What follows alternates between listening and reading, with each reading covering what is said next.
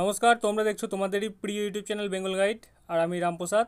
তো তোমরা অনেকে আমাকে জিজ্ঞাসা করেছ যে ফোন নাম্বার হারিয়ে গেছে, কেউ বলছো আমার রিচার্জ করা নেই, বন্ধ হয়ে গেছে, তো এখন কি করণীয়?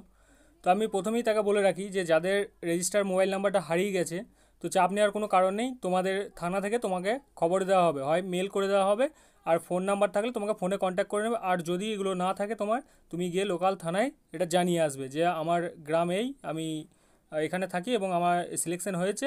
আমার মোবাইল নাম্বারটা হারিয়ে গেছে, তো যদি কখনো আমার নাম আসে, তো বলে দিতে। তো সেখানে তোমাকে বলে দেবে। তো আর অনেকের মনে এই প্রশ্নটা আছে যে ভিআর আগে হবে নাকি মেডিকেল আগে হবে? তো দেখো, এই বছরের সিস্টেমটা একটু আলাদা হতে চলেছে। তো সবের প্রথম বলে রাখি যে, যেহেতু পুজো চলছে, তো সেহেতু কিছু কিছু জায়গায় যেগুলো, যে থানার এলাকাগুলো কম সংখ্যক ছেলে পাস করেছে, সেগুলো কিন্তু পুজোর মধ্যেই ভিআর করে নেওয়া হবে। এখনও পর্যন্ত যেটা খবর আছে, সঠিক তথ্য যে পুজোর মধ্যেই ভিআর হবে। আর পুলিশের কোনো ছুটি বলে কিছু হয় না। তাই তোমাদের অত চাপ নিয়ে লাভ নেই। তোমাদের পুজোর মধ্যেই কিন্তু ভিআরটা হবে। এবার যে সমস্ত থানায় মানে থানার এলাকায় প্রচুর ছেলে পাস করেছে, সেখানে ভিআর না হতেও পারে। তো অনেকের প্রশ্ন যে মেডিকেল আগে হবে নাকি ভিআর আগে হবে? তো এক্ষেত্রে এলাকা অনুযায়ী এবং সেই এলাকার এসপি কী করবেন সেটা তার ব্যক্তিগত ব্যাপার। তিনি মেডিকেলও আগে করাতে পারেন। তো সম্ভবত এই বছরে ভিআরটা আগে হওয়ার সম্ভাবনা আছে সমস্ত জায়গাতেই। তো ভিআরটাই আগে হবে এটা ধরে রাখতে পারো। তো পুজোর মধ্যেই কি অনেকের প্রশ্ন যে এখন তো পুজো চলছে, তো পুজোর মধ্যেই কি সমস্ত কাজ চলবে? তো আমি তোমাদের, আমার তরফ থেকে হান্ড্রেড পার্সেন্ট সঠিক এবং জেনুইন খবর যে তোমাদের কিন্তু পুজোর মধ্যেই সমস্ত কাজ চলবে।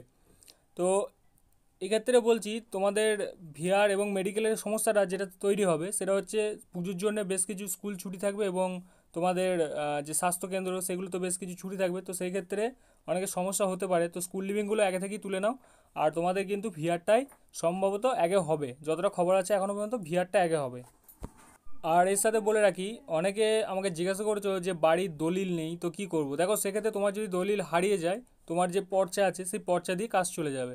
আবার অনেকে জিজ্ঞাসা করেছ যে বাবার নামের বানান ভুল আছে, তো সেক্ষেত্রে কী করব? দেখো, যাদের বাবার নামের বানান ভুল আছে তো কোর্টে থেকে এফিডেভিট করিয়ে নিতে হবে। তো এফিডেভিটটা কি করাবে দেখো? এফিডেভিটটা তোমরা ফার্স্ট ক্লাস ম্যাজিস্ট্রেটের দিয়ে সই করিয়ে নেবে। নটারি আর ফার্স্ট ক্লাস দুটো হয়, তো ফার্স্ট ক্লাস ম্যাজিস্ট্রেট দিয়ে সই করিয়ে নেবে। আর অনেকে জিজ্ঞাসা করছ যে মানে যে ডকুমেন্টসগুলো জমা দেবে, সেগুলো কি কোনো গ্যাজেটেড অফিসারের সই বাধ্যতামূলক? তো দেখো মানে এখন সরকার থেকে যে নির্দেশ দেওয়া আছে, যে কোনো কিছুই অ্যাটিস্টেট মানে সরকারি কর্মচারী বা এ গ্রেড অফিসার দিয়ে বাধ্যতামূলক নয়। সেটা তুমি করালে তোমার ইচ্ছা, তুমি করাতে পারো, তাতে কোনো অসুবিধা নেই। কিন্তু, আর তুমি যখন স্কুল লিভিং সার্টিফিকেট তোলা যাবে সেখানে যদি তুমি যে কোনো স্যারকে যদি হেডমাস্টারকে অনুরোধ করো, সে তিনি তো খুশি মনে সেটা অ্যাটিস্টেট করে দেবেন। তো এখানে কিন্তু তোমাদের বলাই ছিল যে সেলফ অ্যাটিস্টেট লাগবে। তুমি যদি অ্যাটিস্টেট করিয়ে নিতে পারো কোনো গ্যাজেটেড অফিসারকে দিয়ে, সেটা তোমার আলাদা ব্যাপার। যদি কেউ না করাও, সেক্ষেত্রে তোমাদের কিন্তু সেলফ অ্যাটিস্টেটে কাজ হয়ে যাবে। এটা হান্ড্রেড পার্সেন্ট সঠিক নিউজ তো পুজোর মধ্যেই সময় তোমাদের সমস্ত প্রসেসিংগুলো চলবে। আর তোমাদের ভিআর এবং ভিআরের যে ফর্ম সেটা আমার ডেসক্রিপশন বক্সে দেওয়া আছে। সেখান থেকে লিঙ্কে ওপেন করে তোমরা ভিআর ফর্ম সম্পর্কে ডিটেলসে জেনে নিতে পারো।